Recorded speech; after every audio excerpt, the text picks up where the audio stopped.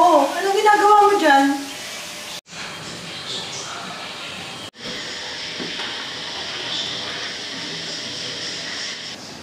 Oh, anong itsura yan? Ba't mukha ka nalugi?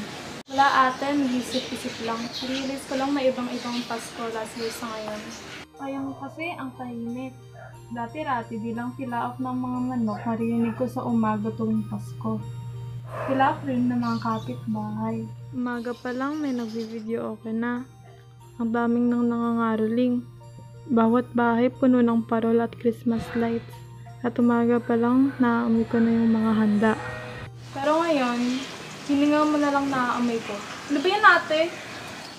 Ano ba yan? Kala ko naman seryoso ka. Seryoso nga ako ate. Alam mo, isipin mo na lang, hindi matatalo ng pandemic na to kahit na ano pa man ang diwa ng Pasko. Kasi wala ka man nakikitang nangaroling ngayon o mga engrandeng selebrasyon, yung totoong dahilan ng araw na to, hindi yun mawawala dyan. At sa puso nating lahat. Ay naku, ka na nga. Kumain na tayo. Asan ba si mama? Tapos, Sa kwarto, pinalabas nga ako Saan tayo kanina eh. Saan tayo sige, ako natatawag ha. Ikaw na mag-asikaso doon.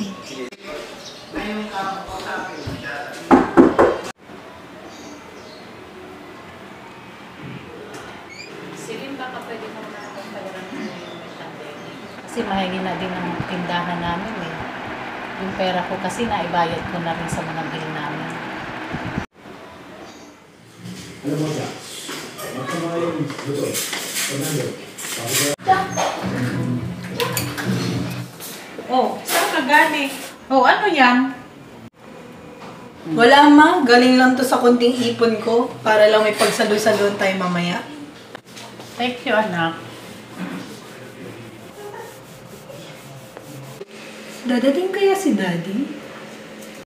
Bakit ba kasi sa ibang bansa pa nagtatrabaho si Daddy? Pwede namang dito na lang.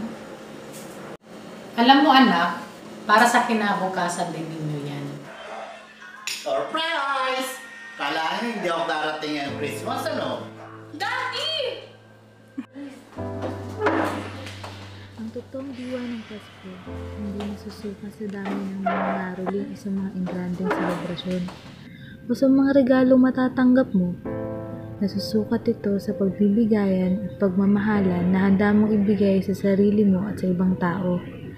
Kahit ano pa mang mangyari, may pandemic man o wala, hindi hindi na ito mabubura sa puso ng bawat isa.